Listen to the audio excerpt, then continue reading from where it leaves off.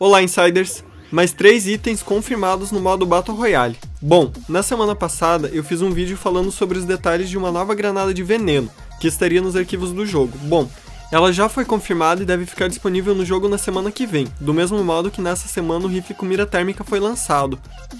O modelo em 3D dessa granada é esse aqui da tela, e se você ainda não sabe como ela funciona, no final desse vídeo e também na descrição, vai ter o link para um vídeo onde eu comento e explico o funcionamento dela.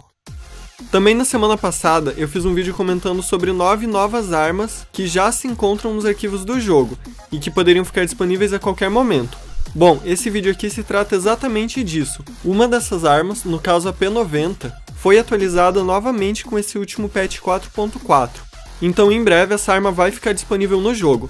Uma descrição dela foi encontrada pela primeira vez em um patch mais antigo, e a descrição dela dizia: Atire com uma frequência muito alta, causando muito dano e consumindo bastante munição. Boa para combates em movimento e com precisão suficiente para combates de média distância, quando utilizada em rajadas.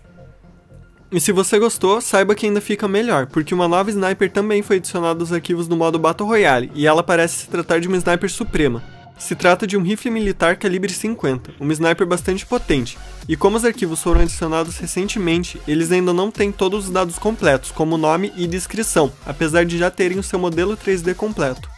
Bom, essa é toda a informação que se tem a respeito dessas duas novas armas, e assim que surgirem outras novidades eu vou atualizar esse vídeo. E qual a sua opinião sobre essas novas armas? Diga o que você pensa aqui nos comentários e compartilhe com a gente. Então se você gostou desse vídeo e quiser mais como esse, deixe o seu like, se inscreva no canal e também ative as notificações para não perder nenhuma novidade. Obrigado e até a próxima!